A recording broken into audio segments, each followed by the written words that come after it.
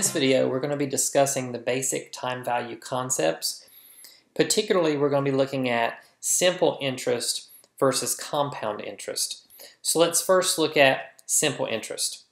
Now, simple interest, as we discussed in an earlier video, is interest computed only on the principal. So you're not really earning interest on interest. So using this illustration, Barstow Electric Incorporated borrows $10,000 for three years at a simple interest rate of 8% per year. We need to compute the total interest to be paid for year one. So remember your computation for interest is principal times rate times time. So in this case, we would take our principal of $10,000 times our percentage rate times the period, which in this case is is three years. But for, for year one, we just want the interest for one period, which is 8%. Keep in mind that interest rates are given on an annual basis. So that's very important when we're looking at partial years interest.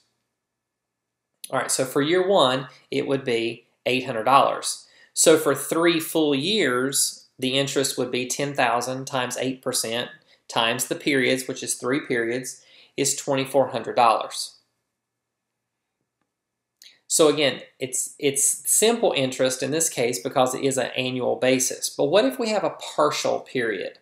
So for example, if Barstow borrows $10,000 for three months at 8% per year, the interest rate is computed like this. We would take the interest rate times the principal times the time. So remember, interest rate is given on an annual basis. So we have to convert our periods to annual.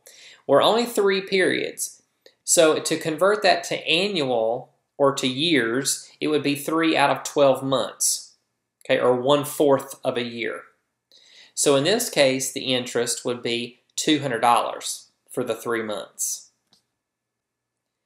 Now, compound interest, we remember, is not only earning interest on the principal, but we also earn interest on the interest that we have um, accumulated up to that point.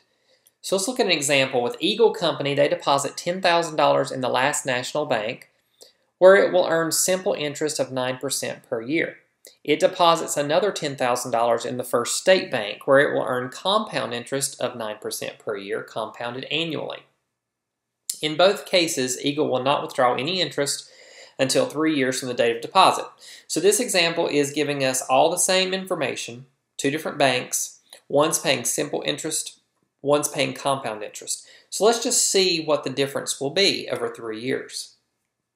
So on the left at the last national bank, you can see that each year we are earning $900 in interest because we're earning 9% on the principal only. So every year, even though at the end of year one we've accumulated $10,900 in that account, at the start of year two, we're earning interest on the principal of $10,000. So at the end of year two, we'll have 11,800, which is our $10,000 principal plus $1,800 in total simple interest at that point.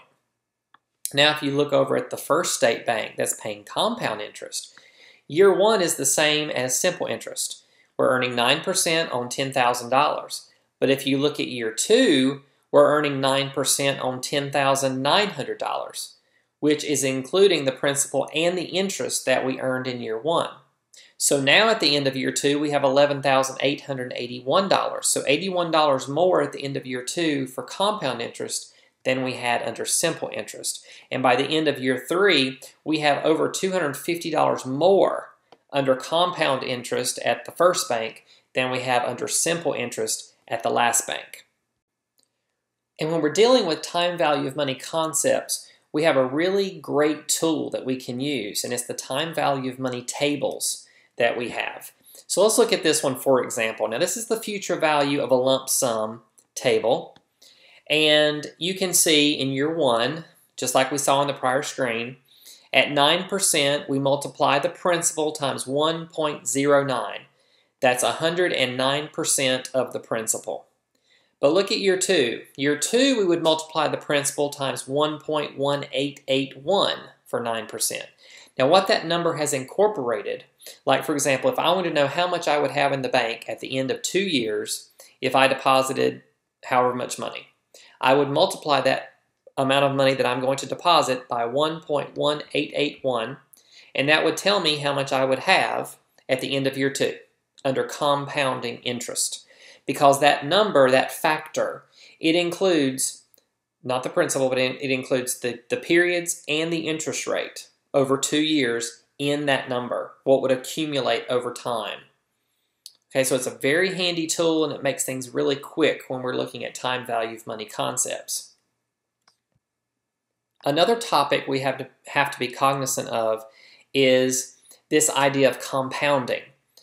Things are not always compounded annually. They may be compounded semi-annually or quarterly or monthly.